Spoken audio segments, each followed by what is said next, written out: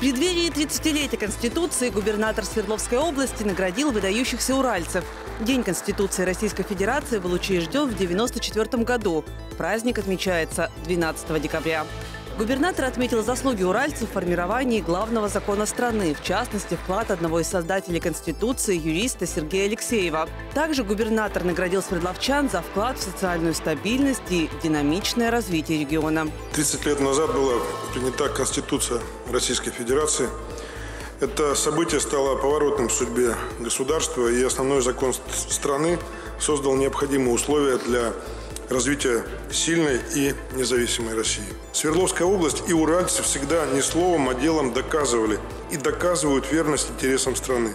Своим добросовестным трудом, интеллектом и энергией вносят весомый вклад в достижение общих побед страны.